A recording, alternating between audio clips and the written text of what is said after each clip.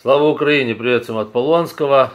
Итак, друзья мои, а, на России паника. Паника по поводу из-за Вагнера. Э, не то, что из-за Вагнера, но они боятся нового переворота, нового похода на Москву по типу того, как организовал Пригожин.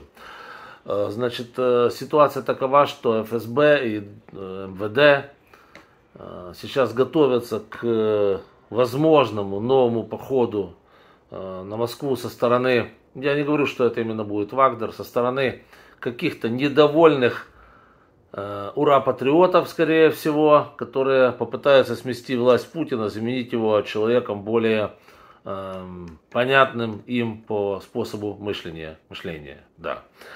Э, что я могу сказать? Ну да, переворот на России будет. У них вообще власть никогда не менялась на выборах. Это не та страна, где власть меняется на выборах. На России, в СССР, Российской империи власть менялась исключительно одним способом, путем переворота. Поэтому Путина сбросят э, с власти, естественно, путем переворота. Лично я не ожидаю и не думаю, что будет новый поход новый поход э, вагнеровцев или а-ля э, того, как это делали вагнеровцы на Москву. Нет, этого не будет.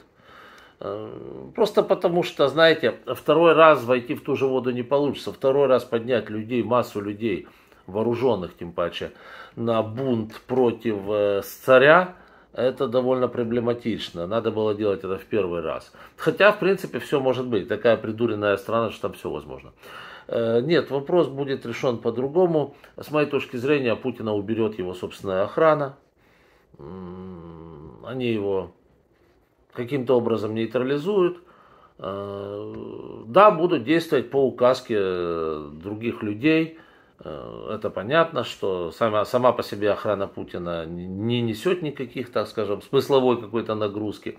Но за деньги, они все продажные, за деньги, за какие-то льготы, я не знаю, за то, что они станут там, станут, может, в дальнейшем губернаторами, еще кем-то, еще кем-то, за должности, за, за возможность безраздельно в дальнейшем грабить, воровать, они могут пойти на то, чтобы упыря убрать. Тем паче, что упырь уже старенький, и все понимают, что его песенка, собственно говоря, спета, что он ведет страну в кирдык, что называется – и поэтому, с моей точки зрения, рано или поздно переворот на России будет.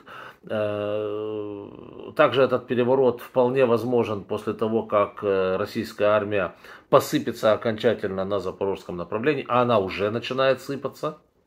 Мы все это прекрасно знаем, я только об этом рассказывал. Вот, когда придет осознание того, что Крым уплывает назад в Украину, вполне возможно, что вот Путин с Путиным порешают вопрос вот таким вот образом. Поэтому, в принципе, конечно, то, что ФСБ, там, МВД и так далее, там силовые структуры сегодня готовятся к тому, что э, будут э, свергать власть э, Путина, э, это, это да, это обоснованная, обоснованная боязнь. Э, но есть один ну, нюанс. Скорее всего, Путина они сами и свергнут.